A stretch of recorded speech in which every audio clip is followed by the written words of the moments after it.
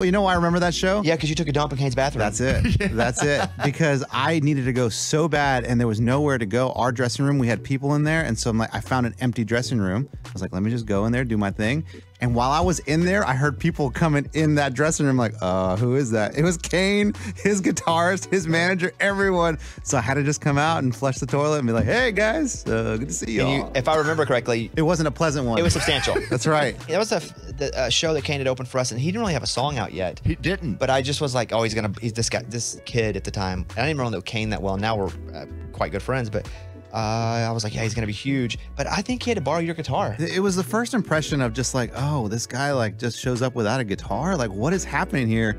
But then his guitar said, no, man, I don't have a guitar. Turns out he had lost it on the plane. I think the They plane, didn't say all that initially. They just were like, They just said, anybody have a a guitar." guitar? but we found out later that yeah, the airline had like lost his guitar, so he needed one. But at first, I'm just like, what slackers didn't bring guitar to a show? And it was a great show too. And that's the first time I heard Kane sing. I think a lot of us did. Yeah. Live, and I was like, this guy's got it.